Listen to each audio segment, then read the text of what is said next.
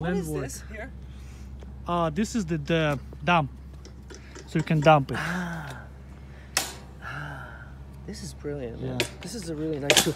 I just, I hope it's tough though, because m- everything is like this, bumpy. Okay, here we go. That's what it's actually made for. So, Yeah. so that's. I took the side uh, sides off. So that's how it works. Mhm.